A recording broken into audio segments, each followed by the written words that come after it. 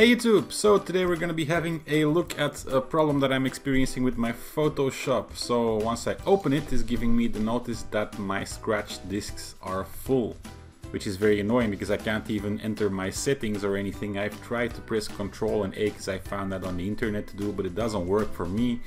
Um, if you can still get in your Photoshop and enter your settings, there's another way to fix this, which I will be showing you at the end of the video. But first we actually have to fix this problem that we can't even enter the settings.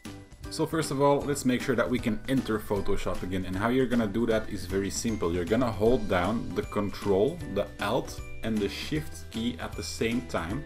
Just hold them down and while you're doing that, you're gonna open Photoshop like this.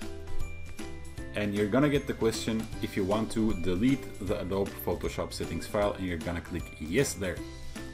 Now after you do that, you're gonna see that your Photoshop will already start up again without giving an error. So that's step one. That's how we get back in our Photoshop. Now we actually need to fix the problem and you know, I did it like this. I tried to open a new file and I made it 800 on 800 because I was creating a logo.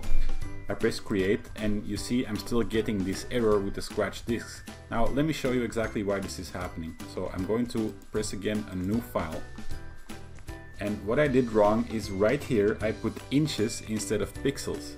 Now guys, if you make a file that's gonna be 800 and 800 inches, that's gonna be about 60, 70, 100 gigabytes even. And yeah, then you'll get the error that your disk is full, of course.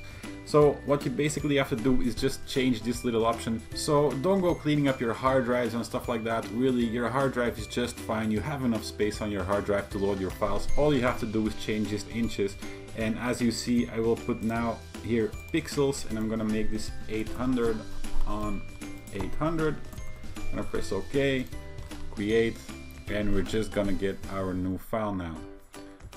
There we go and then we can just start. So really guys your disks are just fine. Everyone is telling you to go into these preferences right here to go to general and then to go to your scratch disks and to you know take your other hard drive here or give it extra options or make space free.